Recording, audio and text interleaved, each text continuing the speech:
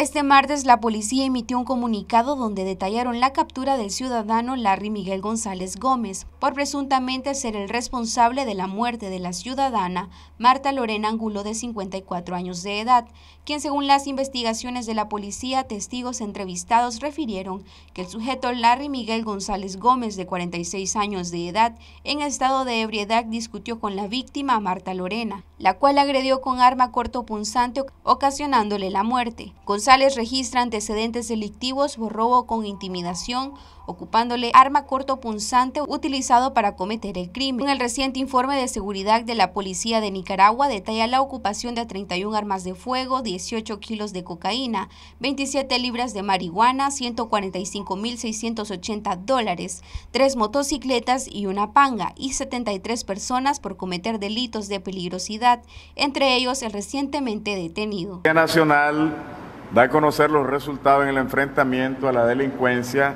el lunes 12 al domingo 18 de julio del año 2021. ¿Cuáles fueron los resultados? 73 delincuentes capturados por delitos de peligrosidad, 3 autores de muerte homicidas, 56 por robo con intimidación, asalto, 2 autores de crimen organizado y lavado de dinero, 12 abastecedores de droga.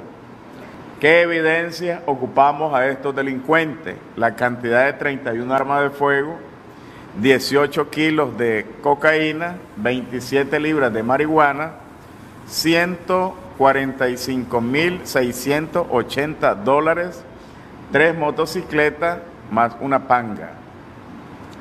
Larry Miguel González Gómez con antecedentes delictivos de robo con intimidación, asalto, fue capturado el día de ayer por el delito de homicidio, el día lunes 19 de julio, aproximadamente a las 9 de la mañana en el barrio 19 de julio del distrito 1 de el departamento de Managua, después de privar de la vida a la ciudadana Marta Lorena Angulo con arma corto punzante.